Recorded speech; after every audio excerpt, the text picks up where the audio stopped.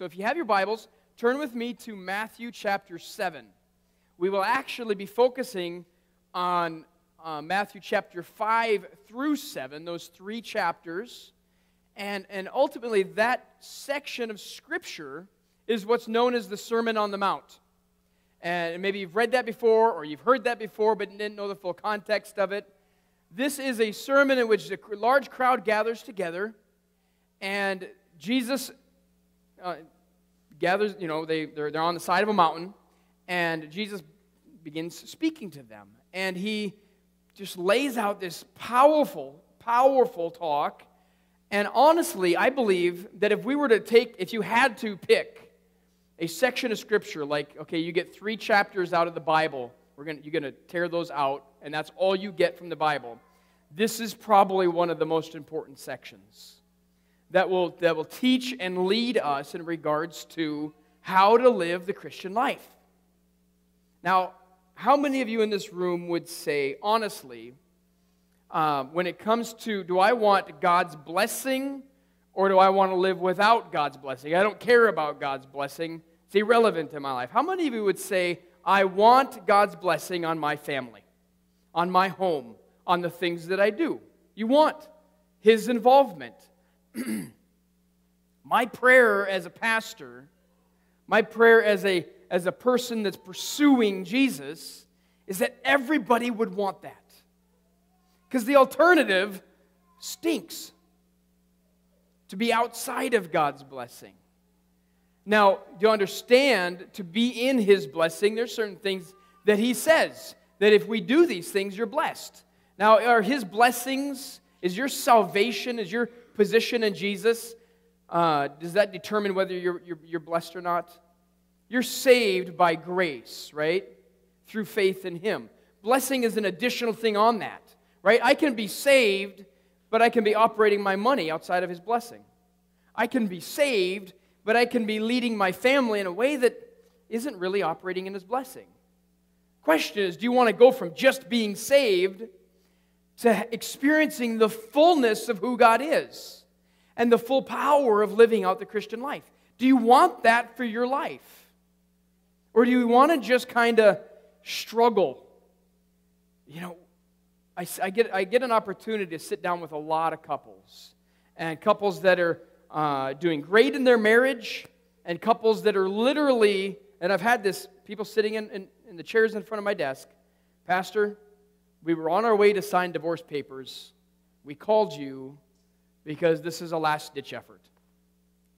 And to have those conversations breaks my heart because we begin unpacking those things, and a lot of it boils down to the foundation of that home. What is that home built on? And we read this in this, in this passage out of Matthew chapter 7, starting in verse 24. Uh, and I'll read this out of the NIV, which we have on the screen up there. Um, it says, Therefore, and anytime you see that word, what are you supposed to ask yourself? What's it there for? Exactly. Uh, so that's an important word we'll come back to. Therefore, everyone who hears these words of mine and puts them into practice is like a wise man who built his house on the rock. The rain came down, the streams rose the winds blew and beat against that house, yet it did not fall because it's found, it had its foundation on the rock. In fact, I would even say this. I found this interesting. I didn't mention this first service, but we were building the, uh, the coat racks that we have out here. If you didn't know, we have some coat racks right on the other side of that wall.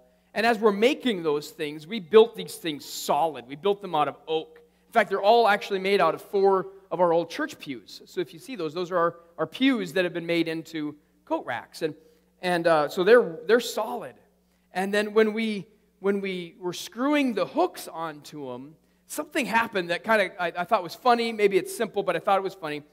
When the drill hit bottom and that screw was all the way in, that, that hook, that metal hook, was so fastened to that oak that it began to actually resonate. You could actually tap those metal hooks and they would almost sing. It was kind of weird. and the reason I say that is because when, when you are fastened to something that's solid, something happens that goes beyond just setting on there, but it begins to resonate through your being. Are you following with me this morning? That it goes beyond just being put on a rock, but when you're attached, there's something where that rock infuses and begins to translate through you. And Jesus, when He's your rock, does more than just, oh, cool, I've got this Jesus under me. He begins to resonate through you, and you, your, your, your being is almost harmonious with Him. Does that make any sense? Kind of a weird illustration in regards to coat racks. Uh, I guess they've been memorialized in that way. But it did not fall because it had its foundation on the rock. But verse 26 But everyone who hears these words of mine and does not put them into practice is like a foolish man who built his house on sand.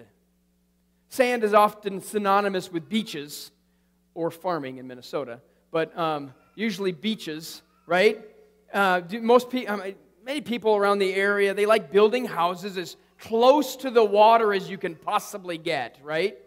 Uh, and you see those even Southern California houses, big condominium places that are right next. You almost wonder, like, if the, if the water rose a foot, wouldn't that fill their basements, right? So close to the water's edge. And, and, and I was even thinking about this and praying about this, and, and how much is it like this concept of building our house on the sand? We're literally building as close to temptation and struggle as we possibly can. How much can I toe the line of, of the shifting sands and get away with it? And you can do it for a while, can't you? And then something comes along and the storms come. And it says here, uh, everyone who hears these words of mine and does not put them into practice, like a foolish man who built his house on sand. The rain came down, the streams rose, the winds blew and beat against that house, and it fell with a what? With a great crash. Okay, you can, you know, did the houses, does it say the houses are different? The thing that was different about them was what they were established on. Oftentimes, you look around, and sometimes it's hard to tell who's built their house on, on, on Jesus, the solid foundation, and who's just built their house on shifting sand. You'll find out when the storms come. And unfortunately, those storms, this concept that no man's an island, those storms don't just affect you. And men, I'm especially speaking to you this morning. God has called you to be the spiritual heads of your home. And when you fail at that, when you fail to listen to and heed the wisdom of God's word, it doesn't just affect you, it affects your family, it affects so many people around you. And oftentimes, women, wives are very good at picking up that mantle, they're running with it. But God has called you to lead, to lead well. The rain, the rain come up, the streams rose, or came down, the streams rose, and the wind blew and beat against that house. Man, that would instill a lot of fear. You know how many couples I've sat down with that were absolutely afraid because of what they were going through?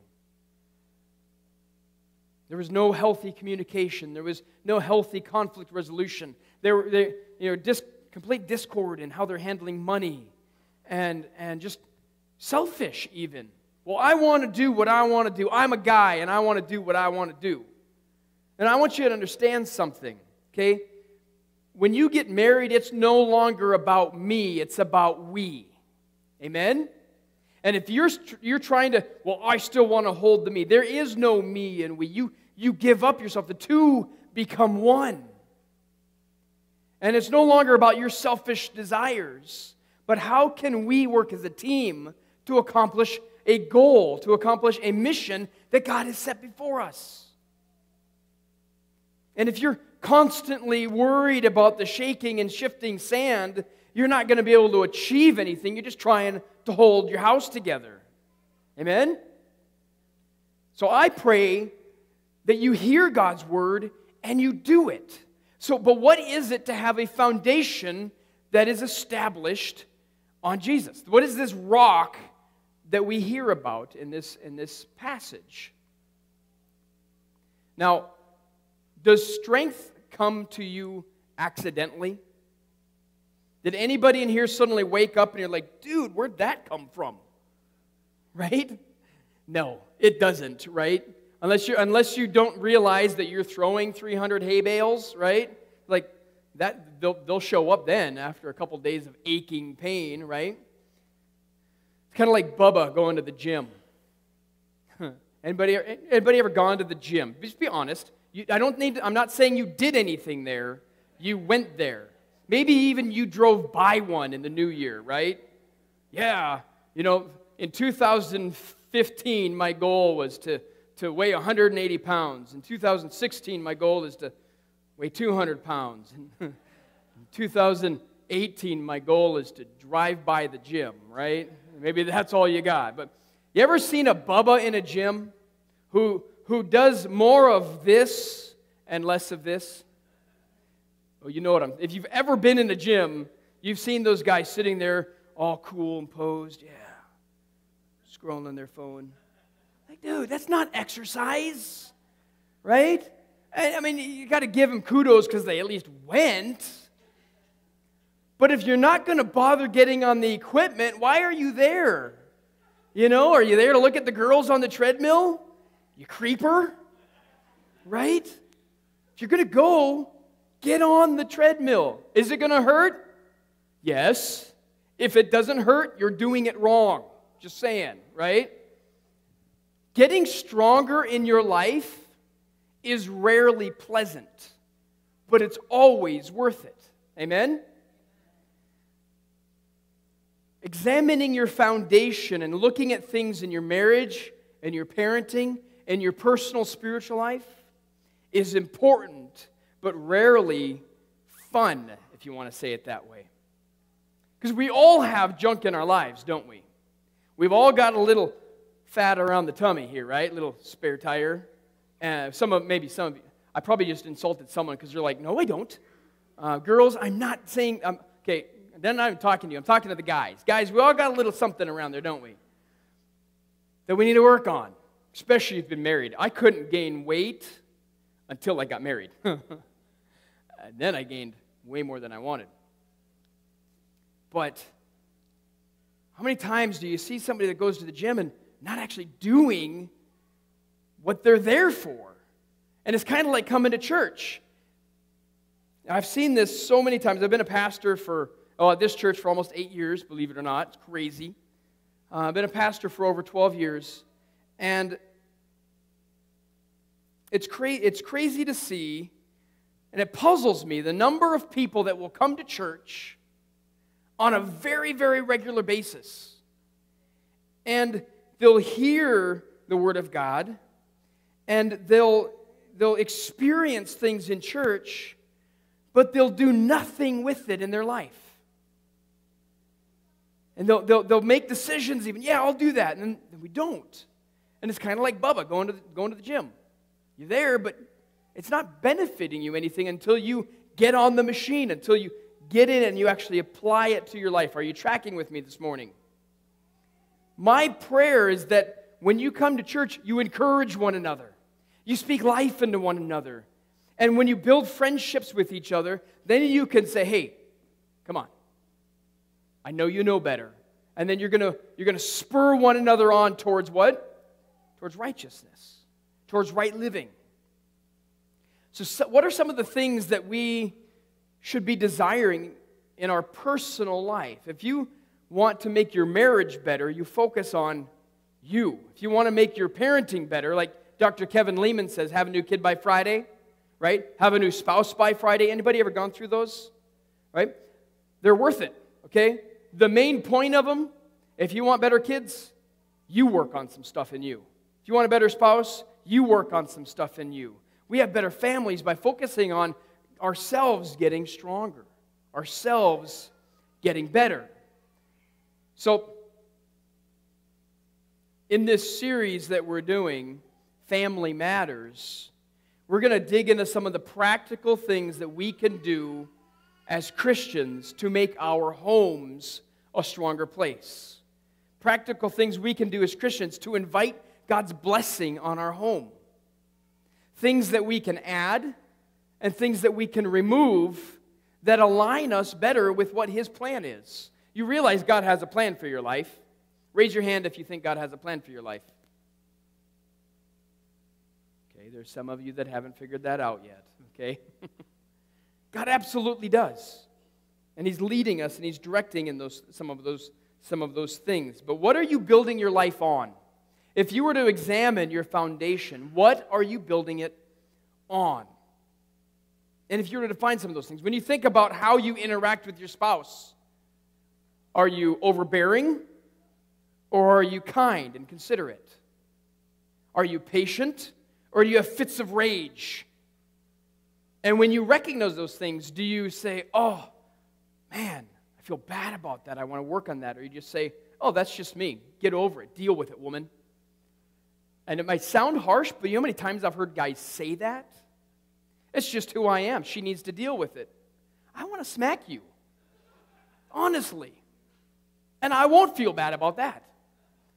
But there's certain things. Have you ever experienced the conviction of God on your life for something you've done? I hope you have. I hope you have.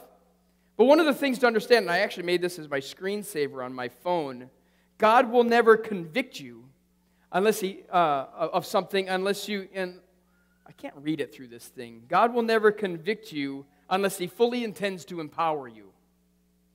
So if he brings something to your attention, it's because he wants to work on it, but he's going to give you the strength to overcome it. But oftentimes, we're just fine with going by with status quo. We're just fine with going along with the culture, whatever the culture says. You know, shifting with the culture is a scary place to be. It's, it's, it's always changing. Just follow the news. You know, now what was it? The, the newest thing, uh, big outrage was uh, the New Year's uh, TV host person who was lighting up a bong and celebrating the smoking of pot on live national, even worldwide TV. Another article was coming out about uh, how Silicon Valley and the big um, drug and money and sex driven parties that they're having, and, and the hookup culture, and actually the, the pushback that's happening against some of that, because what used to be unspoken, what used to be abhorred, culturally is becoming more and more embraced. And that's scary. And this is what I love about God's Word it transcends time when it comes to being able to define what's right and what's wrong. Do you believe there's certain things that are right and certain things that are wrong? Do you truly believe that? Because if you truly believe it, it'll affect your behavior. And there are, there are times in which God will allow storms to come by in your life to reveal what your foundation is. And if it's all been sand, it'll wash away pretty quick, won't it?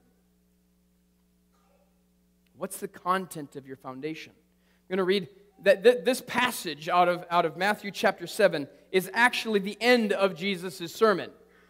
That therefore is there because he's like, all these things I've spoken over three chapters. If you do it, you're wise. If you don't, you're foolish. I want to be wise. So you back up, and I think the way he starts his sermon is no accident. You back up to chapter 5, verse 2. He began speaking, and he taught them, saying, Blessed are the poor in spirit, for theirs is the kingdom of heaven. I don't think he said that by accident. You've heard, you're familiar with the Beatitudes? Right? In the Beatitudes, he lays out these characteristics of our mindset and humility towards God, in submission to God, even in recognizing that God is a little bit more powerful than you and I, isn't he? A lot bit more powerful. And blessed are the poor in spirit. Basically, Blessed are those that are wise enough to recognize that you have a spiritual need that can only be filled by God. Have you come to that point in your life yet? And then he goes on and he talks about some characteristics. Blessed are those that mourn, for they'll be comforted. Blessed are the meek, for they will inherit the earth. Blessed are those who hunger and thirst for righteousness, for they will be filled. What's one of the number one things that you hear about people that are pursuing the ways of this world? After they've done them, they feel empty. You ever heard that? I tried this, I tried this, just nothing ever satisfied. You know, I do this a little bit of drug, and then when it wore off, I had to do this much, and then I do this much, and then this much, and it just never satisfies. And yet, when you pursue hunger and thirst for righteousness, you'll be filled. Blessed are the merciful, for they will obtain mercy. Blessed are the pure in heart, for they will see God. Are you pursuing purity in your home? If I, if, if, if I were to ask you what you, if you gave me access to your Netflix or your Vudu or whatever you watch or your movie collection, would you be embarrassed to watch some of those movies with Jesus? Like, oh, that's an awkward one, right? Do you filter those things? Keep your marriage bed pure and help protect your kids from some of the filth that's out there. Blessed are the peacemakers, for they will be called the sons of God. Blessed are those who basically, when you do all this stuff and the world persecutes you for it, uh, you still press on, for theirs is the kingdom of heaven. What are the elements? Actually, we, we mentioned this in first service. What are the elements that you are using to build your foundation? And uh, if any, any, any concrete workers in here? Anybody that's ever worked with concrete? Plaster of Paris. We'll go for that. Any, anybody ever made a pinata? Okay? Maybe that's a little bit different. Um, concrete is a pretty neat animal. And the elements in themselves don't seem like much, do they? But when you add a little bit of water, or in, in the case of where Jesus is talking in this parable, you add a little bit of a storm or a trial. And if I were to scoop a bit of this and I put it in a bucket, right? Or I dump that in a five gallon pail, and I pour it in a little bit of water, I don't even have to much stir. You wait the next day, that's a hard block, isn't it? Those elements, when the right elements are included, and we're willing to press in and we're willing to discover what those important elements are, and we build with those, and we add the elements of, of the trials and the struggles that Jesus brings into our lives to shape us and grow us, we become strong and well rooted. But oftentimes, instead, we focus on what's fun. How can I be entertained? Life's all about me. I want to be cool, right? So maybe you know where this is going. Instead of using concrete, you got a little bit of Kool Aid, right? You add a little bit of water to that. Is it good? Oh, it's good for a while. But can I build a foundation on that? There's no. No, and I would even say when we desire the things of this world, and I'm not saying Kool Aid's evil, because I love Kool Aid, okay? But when the focus is on just my entertainment, my pleasure, there's no character building in that. Character is built through trial and the refining process that Jesus brings us through. So I love this this sermon that Jesus gives us. In fact, my challenge to every one of you is over the course of this week to read Matthew chapter 5, 6, and 7. Read through that. In fact, I'd encourage you to read it every day. It's three chapters. Read it every day and watch what God does in your heart. He spells out things like, you ever heard anybody say, No one can judge me? He addresses that in there. And you heard the Lord's Prayer? Got any bitterness towards anyone? Got any anger towards anyone? Ever lusted before? Jesus addressed all those things in this sermon. It's a powerful, powerful sermon. But as a family, my desire is that we are not just a Christian family. We are a family whose foundation is on Christ, and everything we do is built upon Him. You see the difference in that? Okay, we don't just go to church, we are the church. We don't just uh, tag on a couple, oh, like I'm going to I'm to have this little trait on me. Well, I become that. I allow it to consume me. Just because you call yourself a Christian doesn't make you one. Just because you call yourself a duck. Although I think nowadays you have to call somebody, if they want to be called a cat or a dog or a duck, do you have to do that? Once again, shifting sands. Pretty sure I'm a guy, right? Not changing. no idea why I said that. Um, Jesus is not just part of our lives, He's the foundation of our hope, of our home. I love Psalm 63 1. You, God, are my God. Earnestly I seek you. I thirst for you. My whole being longs for you, and dry and parched place where there is no water. So, how do you do that? How do we involve God? And one, I'd encourage you, if you're not getting into God's Word, get into a habit of reading His Word. Allow it to wash over you. I love listening to the, the Bible app. And just as I'm driving, I'll listen through the Old Testament. And it's just like, man, I didn't realize that about that story. That's so cool. You get the bigger picture of those. Get into God's Word. Spend time praying over your family. In fact, spend time praying with your family. And just to push back on that a little bit, I would ask you when's the last time you prayed with your family? If it's been more than a couple of days, then it's not an important habit. And for some, that's kind of an ouch, isn't it? Begin to establish those patterns. Involve God in your daily conversations. It was fun. Six o'clock this morning at the gas station in Wadena, having a fun conversation about church and, and some, other, some other pastors in, in other cities. And, and some, you know, guy was like, dude, I saw this pastor. He's got, he's the only pastor I know who's working on two full sleeves. And he was like totally impressed with that. And we got, started this whole fun conversation, six o'clock in the morning today. Involve God in your conversations and watch how He uses them. I'd challenge you in this too. Make going to church a habit of humility and a non negotiable. Our family, we go to church, period. If we're on vacation, we will find a church. And it's fun to check them out, it's fun to go to those places. Because, like I said before, when you come to church, do you expect God to do something? Do you expect them to do something in your life? Every time you come to church, you should be expecting God's going to speak something to me. Because if you don't expect it, He won't do it. I Promise you that. Sometimes you'll break through. Third is show how seeking God is important. Show that to your kids. If you don't make it a priority, they won't.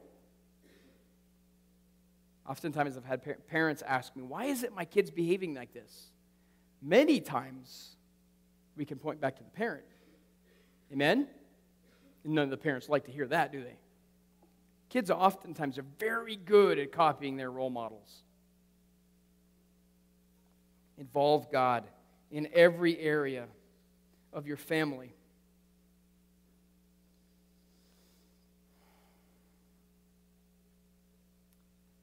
You can do a whole lot of sharing your faith. You can do a whole lot of um, being bold in your testimony just by living your life in a way that honors God. But are you going to do the things that he says or just like, oh, that's a neat concept? I challenge you. If you have, if there's things in your life, I, God, I don't want to deal with that. I don't want to deal with that. I don't want to work on that. That you, you make this year, 2018, a year where you stop pushing against God and invite Him to bless your home Invite him to bless your life. Joshua 24 15. Choose for yourself this day whom you will serve. But as for me and my house, we will what? We will serve the Lord. I can't trust society. The culture shifts around so much. The awesome thing about God's word is it crosses cultural boundaries. It crosses time. It is steadfast. And when I apply those things that God says in His Word, my marriage is better, my parenting is better, my thought life is better, my finances are better. And I'm not just saying they're easy, but they're better. And there is a difference. Does that make sense this morning, church? Heavenly Father, we thank you for the truth of your word. We thank you for the challenges that you bring our way. But Lord, we thank you that as we can get into your word, like Matthew 5 through 7, you lay out so many truths that we can apply to our lives. And Father, I pray that you would help us with that. In fact, church, this morning, If you're here and, and you know that there's something in your life that God wants to work on, He's like, I want to bless you in this, but you need to let me work in there. You need to let me do a little bit of chiseling on your life. If you know that there's something that God wants to work on you in this year ahead, would you be willing to let Him do that, even if it hurts a little bit, knowing that His blessing is worth it? In fact, I'd call you to action on that. Would you raise your hand and say, Yes, Pastor, that's me. I, there's some God, things that God is working on me. I haven't been doing very good at, but I trust that He's going to give me the strength. Would you, would you just lift your hand up? There's hands up all over this room. In fact, would you be so bold? We had water baptism last week, which is a public testimony, like I am going to live my life to honor God. Would you, would you stand up this morning and say, Yes, that's me? I will, uh, I will work on that foundation. I will focus on making Jesus the foundation of my life.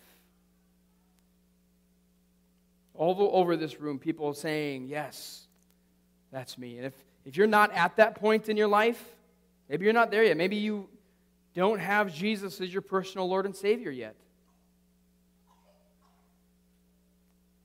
Why wait any longer? He loves you. It's His kindness that causes us to come to repentance. But everything we're talking about today is because God adores you. You hear that this morning? He adores you. He sacrificed everything to have a relationship with you. He has a plan as the mastermind creator to put purpose in your life. Man, what an exciting thing that is. Heavenly Father, as we stand before you today, Lord, I pray that as you are calling us to conviction on these things, Lord, that you would help us to do them. Help us to be wise builders today. Father, if there's any men in this room that are, that are struggling in how they treat their wives, Lord, that they would begin to speak life into this beautiful bride you've given them. Lord, any parents that are just short fused with their kids or just struggling to even love their kids, Lord, that you begin to turn that around, that they would be model parents in, in raising through a demonstration of a life. Father, if there's habits or drugs or addictions that are going on in their life, Lord, that you begin to break those things that this would be the best year ever. Father, we love you. We trust in you today. If everyone would stand with me right now.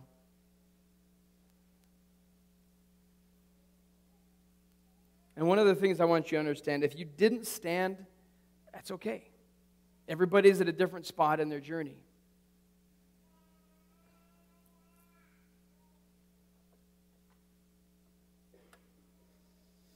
But God is doing something in the hearts of his people this morning.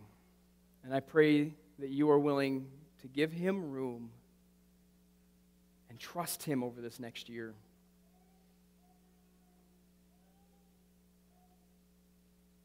So, my challenge to you this week is to get into God's Word, especially those three chapters. And if that means your entire devotional time this week is focused on those three chapters, pray it over. Like we mentioned first service, Psalms talks about how we a, a cow chews its cud, and how literally with Scripture we can take that and we can process it over and over and develop that within our, within our spirit. Allow His Word to transform your spirit.